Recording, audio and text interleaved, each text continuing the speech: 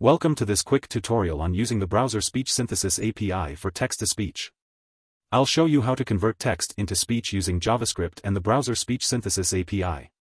We'll also look at how to control the speech, allowing you to pause, resume, and stop the speech as you like. With further ado, let's get started. What is speech synthesis? The Speech Synthesis API is a JavaScript API that allows to integrate text-to-speech, TTS, capabilities into web applications. This also allows control of the voice, pitch, rate, and volume of the synthesized speech, providing flexibility in how the spoken output sounds. The Browser Speech Synthesis API is supported in modern browsers like Chrome, Firefox, and Edge. Check the documentation for the latest updates on compatibility. I'm using Microsoft Edge for this demo. Here's a basic example of how to use the Speech Synthesis API in JavaScript. I've created a simple HTML file with a button labeled Speak. When we click this button, it will trigger the speak function, which is defined in the script.js file. Now, let's dive into the code and define the speak function. First, we'll create an instance of the speech synthesis utterance. This object represents a speech request and contains the text that we want to be spoken. This object contains information about the voices we can use to speak the text. To get the list of available voices, we call the getVoices method of the speech synthesis object. This method returns an array of speech synthesis voice objects. For this demonstration, we'll keep it simple and just use the first voice from the array. We'll set it as the voice for our utterance. Finally, we'll call the speak method of the speech synthesis object to make the text come to life. Let's see how it works in action. When I click the speak button, we should be able to hear the text being spoken. Don't forget to subscribe. With just a few lines of code, we can add text-to-speech functionality to any website or application. But wait! There's more. I am going to create a simple text-to-speech application. It'll have a text area, a drop-down to select the voice, and a button to trigger the speech synthesis. We'll also add buttons to control the speech, to stop, pause, and resume the speech. I am using a React app for this demo, but you can use any framework or library you prefer.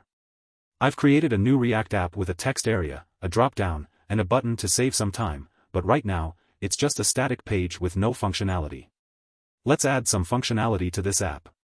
I'm creating a new file called useTextToSpeech.js.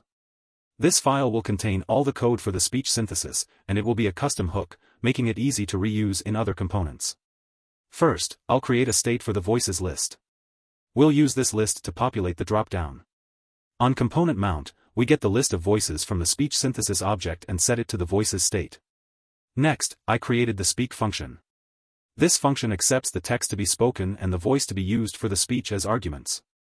I will keep speak function outside the hook for better code readability. Inside the speak function, we create a new instance of speech synthesis utterance. We don't pass text during construction, instead, we set the text using the text property. Then, we set the voice using the voice property and call the speak method to bring the text to life. When the speech ends, the onEnd event is fired if we want to do something after the speech ends.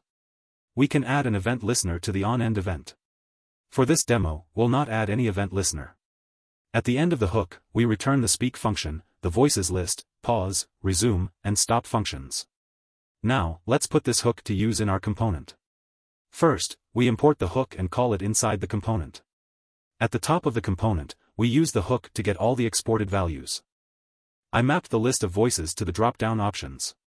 When a voice was selected from the drop-down, we updated the selected voice state variable. I added the speak, pause, resume, and stop functionality to the component. And, when I click the Start button, it triggers the speech synthesis. Don't forget to subscribe. Try it out yourself. You can find the code and working demo link in the description below. That's it for this tutorial. I hope you found it useful. If you have any questions or comments, please leave them in the comments section below. Thank you for watching. Please like and share this video if you find it helpful. Don't forget to subscribe to my channel for more videos like this one. I'll see you in the next video.